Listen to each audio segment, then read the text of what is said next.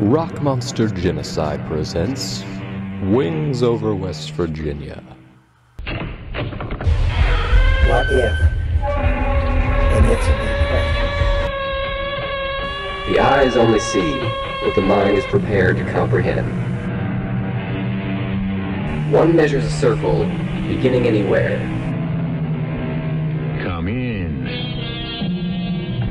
Welcome to Wings Over West Virginia. On today's episode, we'll be talking about the different aspects of the Mothman legacy, such as Indrid Cold, the Men in Black, and UFOs. Let's start first with Indrid Cold. He speaks without talking, you listen without hearing. Woodrow Derenberger was a typical Appalachian man and salesman for a sewing company who lived in Mineral Wells, West Virginia. On November 2nd, 1966, about 7:30 p.m., while returning from Loretto, Ohio to his home, he had a strange experience. He was driving in his red panel truck on Route 77 in Parkersburg, West Virginia. He claimed that he saw a cigar-shaped metallic-colored craft. The ship traveled right by his truck and blocked the roadway ahead and gradually made him slow down to a stop on the side of the road. Woodrow described the vehicle as the strangest thing he'd seen and said it resembled a kerosene lamp chimney. The craft was hovering about 12 inches off the road. A door opened on the craft, a being exited the ship, and the door shut with a loud thunk behind him. Later, the vehicle climbed about 50 feet into the air above the highway. The being walked right up to Derenberger's truck window. Derenberger described the man as looking like any ordinary man off the street, six feet tall, about 35 years of age, olive complexion, dark brown hair, and wearing a long black trench coat. The man spoke to Woodrow telepathically. His mouth did not move. Instead, he had a fixed smile on his face. The man looked in through the truck's window and said without saying something along the lines of, Roll down your window, I want to talk to you. During their communication, the man called himself Indrid Cold. He told Woodrow that he meant no harm. In the famous Derenberger interview, he said, I was very frightened, but as far as I can understand, this was all mental. There were no spoken words from him. I knew what he was asking me, but yet he stood there and his mouth did not move. He had a smile on his face. He appeared very courteous and friendly. Indrid Cold Mr. Derenberger's conversation lasted about 10 minutes. Cold told him, I sleep, breathe, and bleed even as you do. Before returning to the flying craft, he said, We will see you again. Derenberger later reported this event to the police. An older man claimed that he too saw a figure matching the description of Indrid Cold on Route 77 trying to flag him down, but he was too afraid to stop.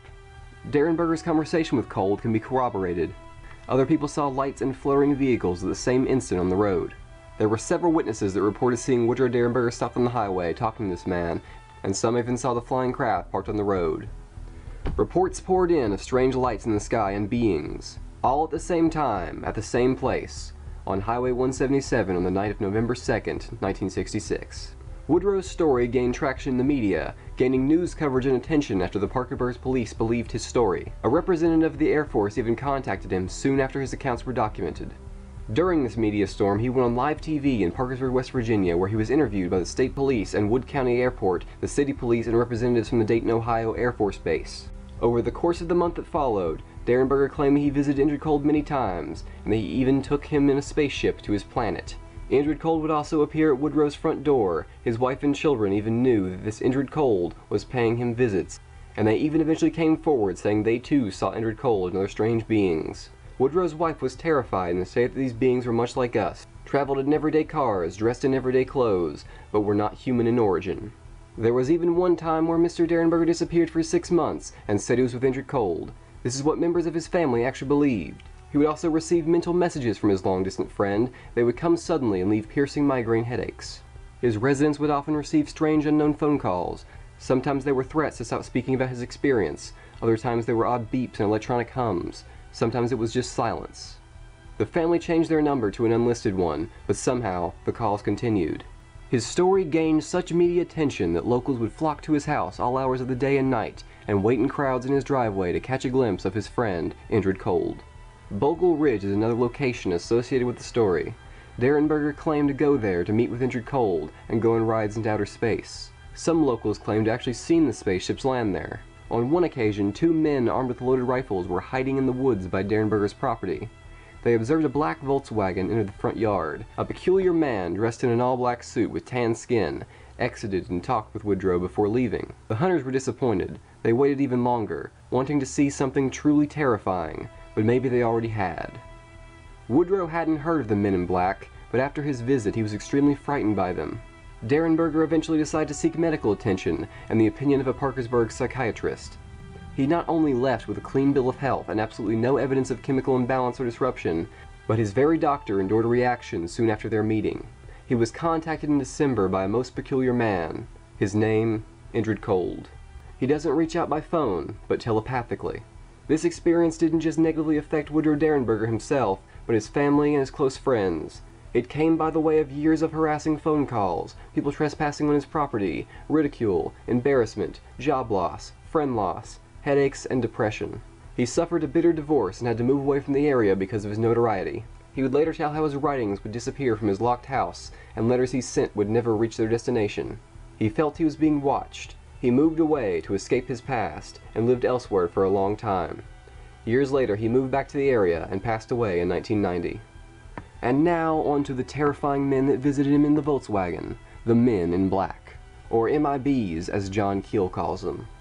John Keel, the main investigator of the Mothman, would often say, watch your back for the Men in Black.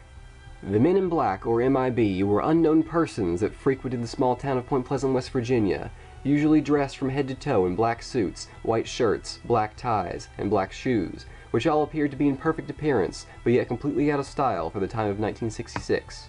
They were known for attempting to threaten witnesses and reporters of strange occurrences such as the Mothman into silence. They were sometimes thought of as damage control, as if their job was to contain and stifle information from getting out to the public.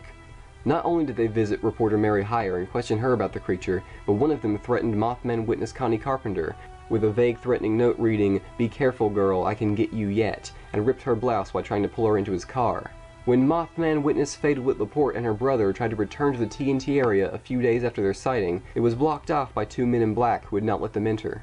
Their hair is jet black and shiny, and their skin is said to be without blemish or even almost translucent. Strange eyes sometimes covered by dark sunglasses, and movement that appeared to be sometimes robotic in nature. Mary Hyre noted the olive skin tone and that they never blinked their eyes. The men in black also had strange eating behaviors. Witnesses say they didn't know how to use a knife and fork, and the waitress had to come over and show the man how to cut his steak. They didn't chew their food, they just kind of swallowed it.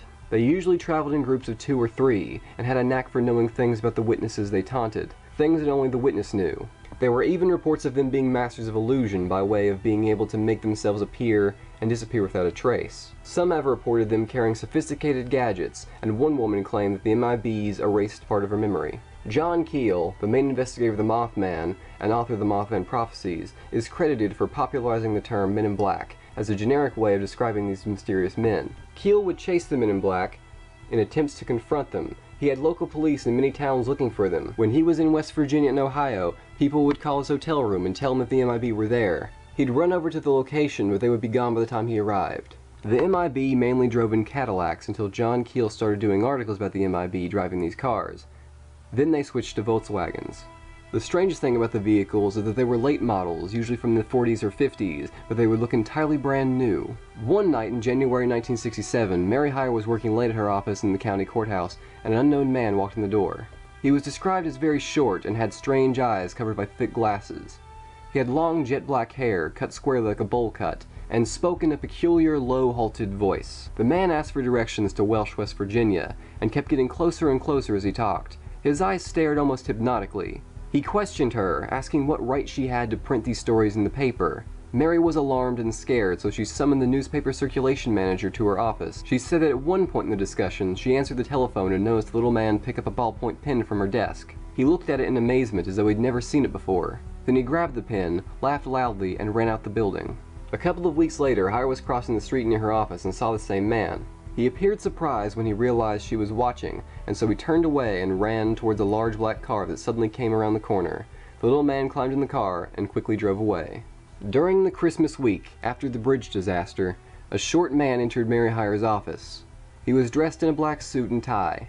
He was not interested in the bridge disaster, but wanted to know more about the local UFO sightings. Hyre was too busy to talk with him, so she handed him a file of relevant press clippings instead. He was not interested in them, and insisted on speaking with her. She finally dismissed him from her office. That night, an identical described man visited the home of several witnesses in the area. He made all of them very uneasy and uncomfortable.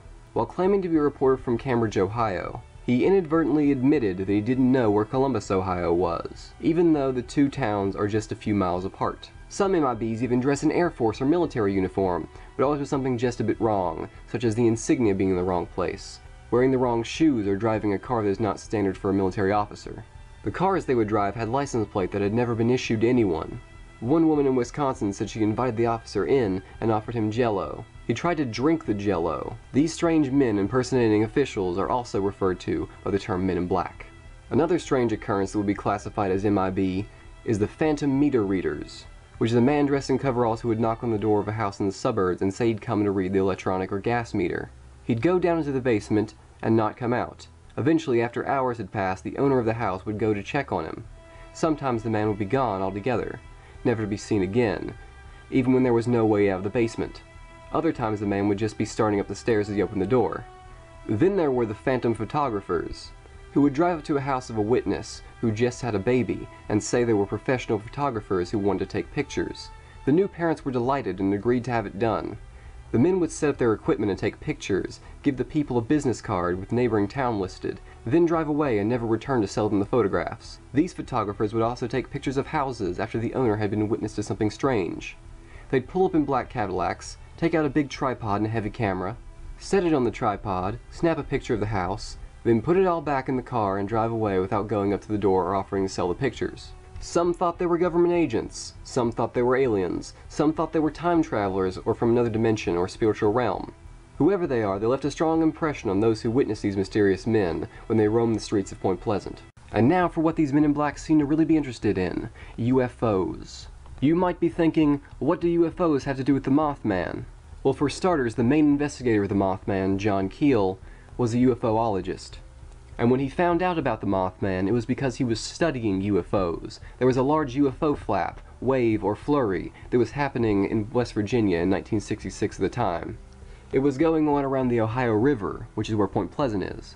And let's not forget that the Mothman could even be classified as a UFO himself, because it is an unidentified, flying object. A UFO, in its most general definition, is any apparent anomaly in the sky that has not been identified as a known object or phenomenon. Culturally, UFOs are associated with claims of visitations of extraterrestrial life and have become popular subjects in fiction. While UFOs are often later identified as explainable objects, sometimes identification may not be possible, owing to the usually low quality of evidence related to UFO sightings, which is generally anecdotal evidence and eyewitness accounts. Stories of fantastical celestial apparitions have been told since antiquity, but the term UFO was originally created in 1953 by the United States Air Force to serve as a catch-all for such reports. In its initial definition, the U.S. Air Force stated that a UFO was any airbound object which by performance, aerodynamic characteristic, or unknown feature does not conform to any presently known aircraft or missile type, or which cannot be positively identified as a familiar object. Accordingly, the term was initially restricted to fractions of cases which remained unidentified after investigation, as the Air Force was interested in potential national security reasons and or technical aspects. During the late 1940s and through the 1950s, UFOs were referred to popularly as flying saucers or flying discs. The term UFO became more widespread during the 1950s, at first in technical literature, but later in popular use. UFOs garnered considerable interest during the Cold War, an era associated with heightened concern for national security. Various studies have concluded that the phenomenon does not represent a threat to national security, nor does it contain anything worthy of scientific pursuit. Studies have established that the majority of UFO observations are misidentified conventional objects or natural phenomenon. Most commonly aircraft, balloons, clouds, or astronomical objects, such as meteors or bright planets with small percentage even being hoaxes. Between 5% and 20% of reported sightings are not explained, and therefore can be classified as unidentified in the strictest sense. While proponents of the extraterrestrial hypothesis suggest that these unexplained reports are of alien spacecraft, the null hypothesis cannot be excluded that these reports are simply other phenomena that cannot be identified due to lack of complete information or due to necessary subjectivity of the reports. The term UFOlogy is used to describe the collected efforts of those who study reports and associated evidence of unidentified flying objects. UFOs have become a prevalent theme in modern culture, and the social phenomenon has been the subject of academic research in sociology and psychology.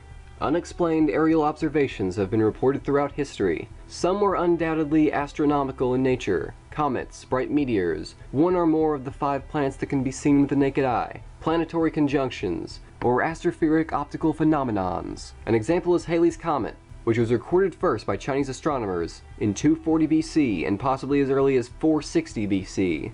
Such sightings throughout history were often treated as supernatural, as being angels or other religious omens. Some current UFO researchers have noticed similarities between some religious symbols in medieval paintings and UFO reports, though the canonical and symbolic character of such images is documented by art historians placing more conventional religions' interpretations on such image. In March of 1966, a wave, flurry, or flap of UFO sightings across southeast Michigan arose media attention, bringing the issue of UFOs back to popular attention. Controversy arose when the UFO's scientific consultant concluded that at least some of the sightings were a result of swamp gas, an explanation similarly rejected by witnesses and other state citizens. The ensuing public outcry was instrumental in bringing about the scientific study of unidentified flying objects, the only academic assessment of the topic completed to date, and the last attempt on the part of the U.S. Air Force to settle the unrelenting mystery of the UFO. And then the Michigan flap seeped over into the state of Ohio.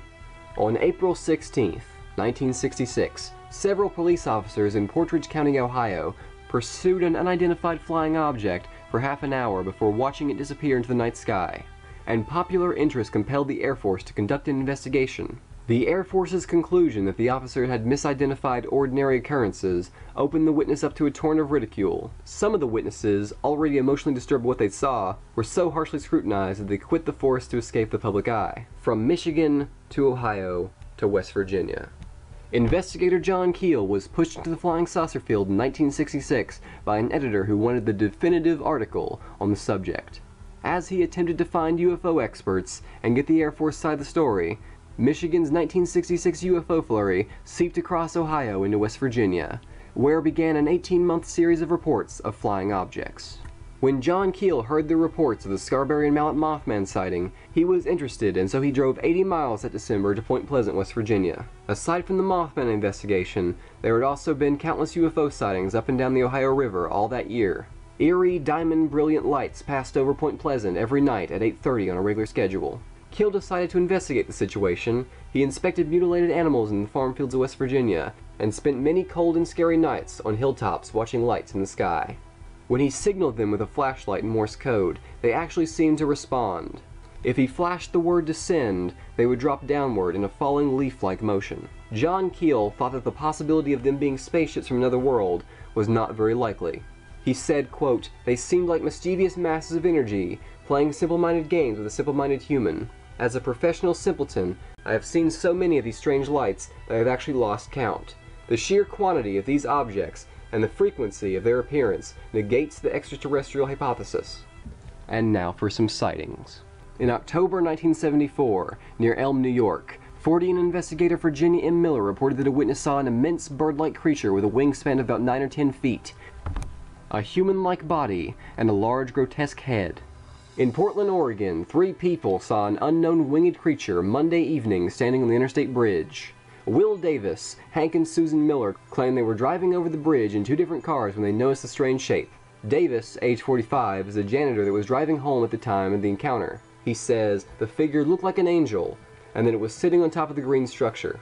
The Interstate Bridge, built in 1917, serves as a connection point for traffic between Portland and Vancouver over the Columbia River. Never said anything like that, says Davis. I was sitting right here. I saw it right before I drove into the bridge. Spooky stuff. It was big. I didn't know how big, but it wasn't a bird. I saw arms and legs. The Millers were driving ahead of Davis and about to come over the bridge when the creature took off. The couple claimed that the animal exhibited 20 foot wingspan. I was still looking back, trying to figure out what it was on top of the bridge by the midsection. It flew right in front of us into the right side of the bridge, says Susan, age 29. Hank was driving and I tell him, hey, look out, what the heck is that? He saw it too, but I was able to see it much better than him for sure, since he was the one driving. Whatever it was, it was big. At first I thought it was a prank or a city worker fixing something over the bridge. I'm telling Hank, why would they have a worker this late in the evening? Isn't it kind of dangerous? Until it began flying. I reached for my phone inside my purse, but the thing wasn't there anymore. It looked like an angel. I didn't see its face, but I could make out a tail. Even from far away, the body was black. She said it was the Mothman, interrupts Hank Miller, mocking his wife. I laughed, but I saw it too. Not much to be seen, honestly, but I assure you there was something flying and it was huge. It looked like a man, a man with wings. Tons of artists in Portland, you never know. Until next time, West Virginia, watch the skies everywhere. Keep looking, keep watching the skies.